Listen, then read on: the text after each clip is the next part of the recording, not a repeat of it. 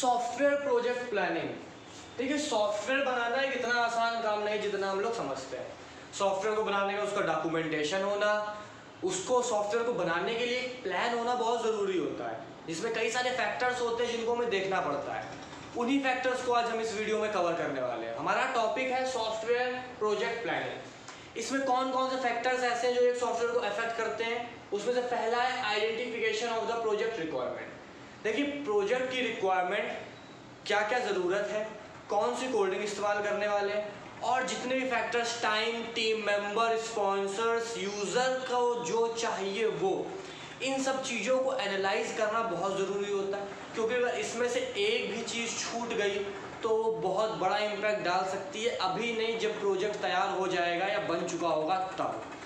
तो इस फ़ेज़ में हम पहले सेटिस्फाइड हो जाते हैं कि हमने जितनी भी रिक्वायरमेंट्स थी उन सारी रिक्वायरमेंट्स को पूरी तरीके से फुलफ़िल कर लिया। उसके बाद हम लोग आते हैं अपने दूसरे पे, जिस पे आता है आइडेंटिफिकेशन ऑफ़ कॉस्ट एस्टिमेशन मतलब जो भी हम बनाने जा रहे हैं, उसके लिए कितनी कॉस्ट आने वाली है? हमारे टीम मेंबर्स की पेमेंट क्या होगी? हमारे जो रिसोर्सेज हैं, उनकी पेमेंट्स क्या होगी? उन रिसोर्सेज में कितना खर्चा होने वाला है? उस टाइम पे कितना खर्चा होने वाला है? जिस चीज़ों को हम इस्तेमाल कर रहे हैं, जितनी भी चीज़ें हैं इंक्लूडिंग इलेक्ट्रिसिटी से लेके सब कुछ, उन सब का एक एस्टिमेशन एक वे होना चाहिए एक ऐसा हमारे पास तरीका होना चाहिए जिससे हम उसको एस्टिमेट कर लें कितना ही कॉस्ट टोटल आने वाली है जिससे हमको ये मदद मिल सके। तीसरा होता है आइडेंटिफिकेशन ऑफ़ रिस्क ये सबसे मेन होता है। कहीं पे आगे जाके हम लोग फंस तो नहीं जाएँगे।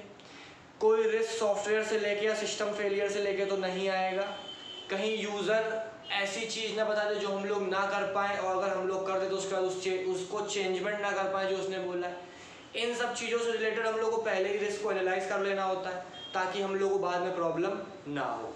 चौथी चीज़ आती है identification of critical success factor इसमें देखा जाता है कि कितने चांसेस हैं कि आपका सॉफ्टवेयर जो है वो सक्सेसफुल होगा। जो भी चीज़ हमने कॉस्ट निकाली, एक डिज़ाइन बनाया डिज़ाइन और इम्प्लीमेंटेशन और तो हमारा एच डी एल सी में आ जाता है सॉफ्टवेयर डेवलपमेंट लाइफ साइकिल या सिस्टम डेवलपमेंट लाइफ साइकिल में, हम लोग अगर प्रोजेक्ट प्लानिंग की बात करें तो हम लोग जितना सब कुछ भी कर चुके हैं रिस्क निकाल चुके हैं कॉस्ट निकाल चुके हैं एच डी एल सी का प्रोसेस कर चुके हैं, उसका हम लोग आइडेंटिफिकेशन करते हैं क्रिटिकल सक्सेस फैक्टर का। मतलब कितना हद तक हमारा सॉफ्टवेयर सक्सेसफुल हो सकता है।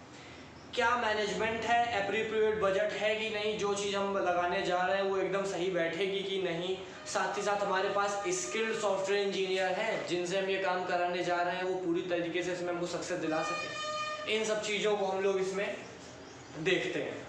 उसका अगला फैक्टर आता है प्रिपरेशन ऑफ़ प्रोजेक्ट चार्टर इसमें प्रोजेक्ट का एक डॉक्यूमेंटेशन बनता है। उस डॉक्यूमेंटेशन में हर चीज़ को लिखा जाता है कि हमने किस तरीके से कौन कौन से स्टेप्स बना के पूरे प्रोजेक्ट को तैयार किया है। सब कुछ स्टेप बाय स्टेप उसमें इसकी क्वालिटी कैसी है क्या क्या यूज़ किया है, वो सब बताते हैं कॉस्ट बताते हैं। कितना टाइम लगा है वो बताते हैं, जो रिसोर्सेज का यूज़ किया है वो बताते हैं। ये उन सब का एक डिस्क्रिप्शन प्रोवाइड कराता है और एक ब्रीफ डिस्क्रिप्शन भी। साथ ही साथ ये उस मैनेजमेंट के द्वारा बनाया जाता है जो उसकी स्पॉन्सरशिप लेने जा रहा होता है। जैसे कई कंपनियाँ होती हैं, हमारे प्रोजेक्ट को, हमारे सॉफ्टवेयर को स्पॉन्सर करती हैं। तो वो पहले जानना चाहती हैं कि आखिरकार आप जो चीज़ बना रहे हैं वो इतनी कैपेबल है कि हम उसमें अपनी मनी लगाएँ।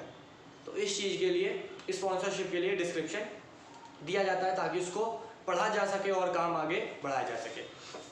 उसके बाद अगला आता है प्रिपरेशन ऑफ़ प्रोजेक्ट प्लान ये बताता है कि हमारे पास कौन कौन से रिसोर्सेज अवेलेबल है और कौन कौन से नहीं है।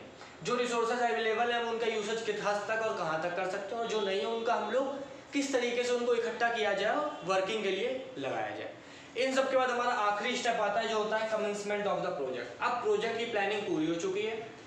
रिसोर्सेज भी हैं टीम मेंबर भी है टीम भी है। जो रिसोर्सेज जिस टीम मेंबर को जो काम दिया गया, उसको वो रिसोर्सेज प्रोवाइड कराया जाए और उनसे कहा जाए, भाई, लग जाओ प्रोजेक्ट तैयार करो। तो ये था एक वीडियो जो आपका बेस था सॉफ्टवेयर प्रोजेक्ट प्लान पे, जो एक वाइड रेंज देता है। बाकी information information system design analysis and implementation नाम की प्लेलिस्ट है, उसमें और भी वीडियोस पड़े हुए हैं। तो मैं हूँ एकांत पाठक, आप देख रहे थे एकांत 360 YouTube channel A K A N T three sixty तो फिर मिलते हैं अगले वीडियो में। तब तक के लिए thank you have a nice day पढ़ते रहिए, काम करते रहिए। और साथ ही साथ मैं आपको एक बात और बताना चाहता हूँ कि मैंने ई कॉमर्स और नॉलेज मैनेजमेंट सिस्टम को भी बहुत अच्छे से कवर किया है। उस समय मैं कंप्यूटर नेटवर्क सिक्योरिटी को भी कवर करने जा रहा हूँ। उसके बाद आपको सी प्रोग्रामिंग और भी कई सारे टॉपिक्स मिल जाएँगे। तो thank you have a nice day